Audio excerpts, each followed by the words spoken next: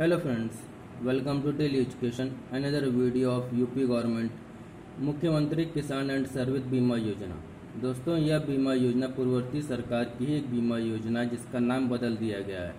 पहले इसको Samajwadi Kisan and service Bima योजना के नाम से जाना जाता था।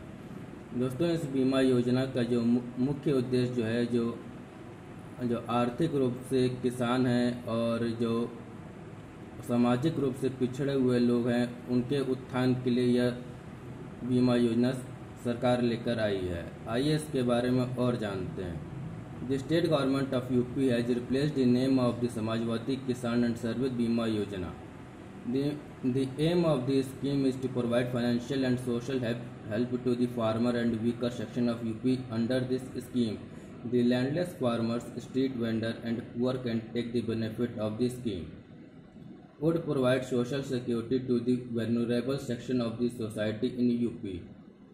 About 3 crore households will be covered for insurance by the state government. The accidental insurance cover will provide a financial help of up to rupees 5 lakh in case of death. Also in the case of physical damage, the beneficiary could get the insurance amount of to rupees 2.5 lakh for medical treatment. Eligibility. The candidate, the candidate should be resident of UP.